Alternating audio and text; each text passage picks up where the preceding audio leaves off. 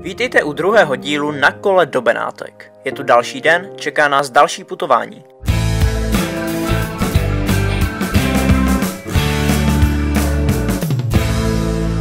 Problém je ten, že musíme z Vídně, která se nachází v necelých 200 metrech nad mořem, dojet až na Semmering, který se nachází v tisícovce, což tedy bude celkem náročný stoupání. Proto dneska vstáváme už před 8 ráno. Zbalili jsme si všechny věci, dali brašny na kola a vyrážíme.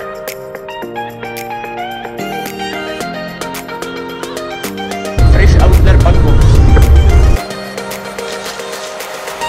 Ve Vídni jsme si koupili snídaní v našem tradičním oblíbeném hofru. Doplnili jsme si ještě vodu do flašek a pokračujeme dál v naší cestě.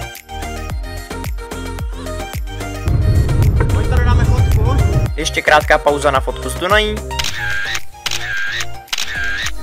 No a potom už jsme zamířili do samotného vídeňského centra.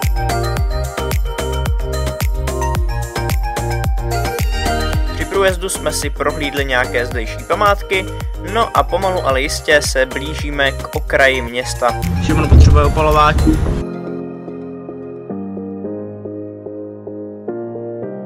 Jeli jsme nějakou dobu podél řeky, až jsme dojeli k supermarketu, kde se můžeme naobědvat.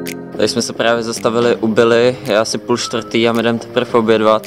Mysleli jsme si, jak to máme zmáklý ten den a teďka jsme zjistili, že jakoby odhadem jsme tak v jedné třetině nebo čtvrtině. No a stejně jak včera, dneska obědváme pečivo se šunkou. No, prostě musíme šetřit, aby nám něco zbylo vůbec do těch benátek, že jo. Každopádně dojíme a jedeme dál, abychom to vůbec dneska na ten Semmering stihli.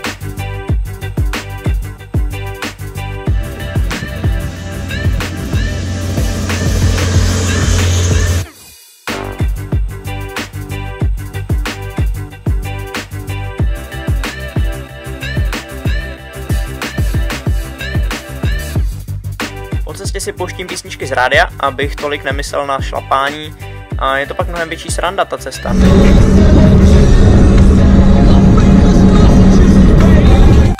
Slunce zapadá, my jsme čím dál tím víc unavenější, ale prostě jedeme a šlapeme dál. No co nám taky zbývá, že jo? Po sedmé hodině večer jsme dorazili do městečka Ternic, kde jsme konečně dorazili k supermarketu, takže se můžeme navečeřet, právě ubili. Tady vedle je byla. Je 7 hodin 32 minut, 7.30 zavřeli. My máme jídlo, asi ani mít nebudeme. Máme čínský polívky, ale si uvaříme, až dojdeme na místo, což je někdy v 11. Jo, tohle fakt potěší. Hm. Takže jedeme dál a můžeme jenom doufat, že po cestě narazíme na nějaký otevřený obchod. Stal se zázrak! Zázrak! Hofre! To ne. Vidíte to, vidíte to? To je Hofre a má otevřeno do 8 a je teprve 7.45. Tak nakonec se na nás přece jenom usmálo štěstí. Nakoupili jsme spoustu jídla, energy drinků a vody. Ten největší výšlap nás totiž teprve čeká. Jsem zjistil, že tady mají jenom perlivý, nebo já jsem koupil perlivý, takže takhle vyštěrcháte, otevřete a pokračuje to takhle, dokud se to nevyštěrchá. Tuhle tu sodu jsme ve vodu sice nepřeměnili, no ale lepší mít zásoby sody, nežli minimum vody. To ví přece každý.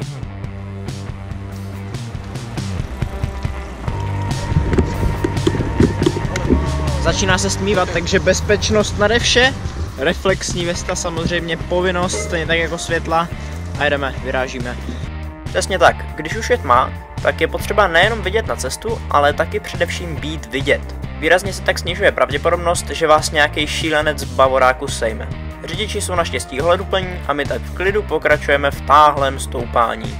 Takže právě před sebou máme ten největší 15 km kopec, kde je převýšení 600 metrů. A bohužel už to asi za chvilku začne, takže se pak turecky netěšíme. Jako pokud budeme dobří, tak do 11 bychom mohli být na místě. Pokud budeme špatní, tak do jedný. Tak snad budeme jako aspoň průměrný, že jo? Poté, co jsme odbočili z hlavní silnice, měl přijít teprve ten nejstrmější kopec. Takže už jsem chtěl říct, že žádný kopec nevidím. Naštěstí jsem to neřekl. A myslím si, že se mi to splnilo, vím, že vůbec nic nevidíte, ale ten kopec má tak jako 20 stupňů minimálně. Abychom ho zvládli, je potřeba se namotivovat fakt na maximum. Tady tady pouštíme motivační hudbu, jako sice jsme úplně v prdeli, ale aspoň si to chceme užít, že jo, tak jako víš co. Jo, tak tady, tady si dáváme jako nějakou energii.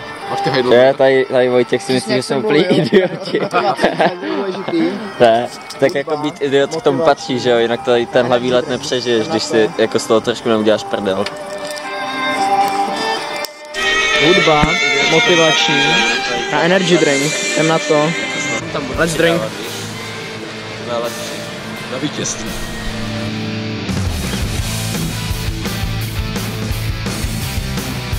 Let's drink this energy drink. To bylo na ring, absolutní. No, takže hudba a energy drinky jsou samozřejmostí. I přesto, že nám to na fyzické síle moc nepřidá, tak psychiku to zvedne určitě. No a ta je v takovémhle případě se sakramensky důležitá. To mi věřte. Tohle je náročný já. Uh. Jak to zvládáš? Takové těžší, než jsem si myslel. Jak boj. Stoupání je to opravdu extrémní.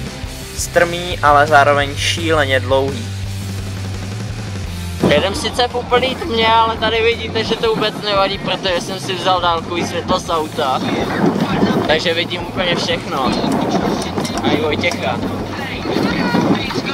Mám před sebou asi 10 km, je půl desátý, průměrná rychlost 6. Ale tak jde to, že jo? I přes ohromnou náročnost jedeme dál. Prostě musíme dojet. Je to to samé, jako kdybyste běželi závod na 5 kilometrů. Po několika kilometrech jste už úplně mrtví. Nejradši byste zastavili a skončili. Už jsme asi 2 km od Semeringu. Už vůbec nemůžem. Jen z posledního. Mě netoč, vole, já jsem vyřízený. Mlčím, mlčím. Vy však běžíte dál, protože něco ve vaší hlavě vám říká, že to doběhnete. No tak přesně to zažíváme teď my. E, Akorát s tím rozdílem, že už dneska máme za sebou přes 100 kilometrů a za poslední dva dny máme v nohách dohromady dobrou čtvrtku tisíce kiláků. No a o to zvláštnější pocit je, když najednou zjistíte, že už jste v cíli.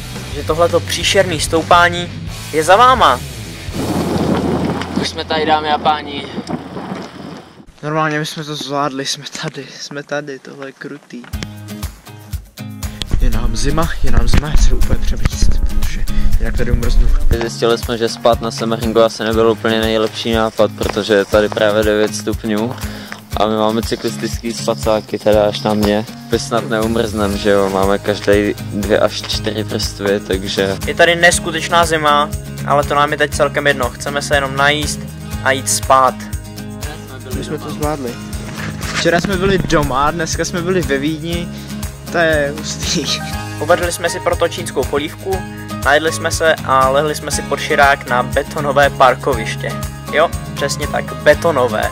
Je nám teď už úplně jedno, že budeme spát na betonu. Nezahneme si radši na trávu.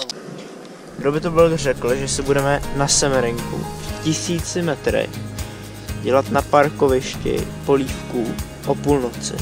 Je skoro půl jedné a únava nás prostě absolutně skolila. Takže pokud během noci neumrzneme, uvidíme se zítra. To je pro dnešek vše. Zítřek už by konečně měl být pohodový den. Pojedeme totiž hlavně z kopce, no a cesta bude krátká. Dobrou noc, zase příště na kole do Benátek.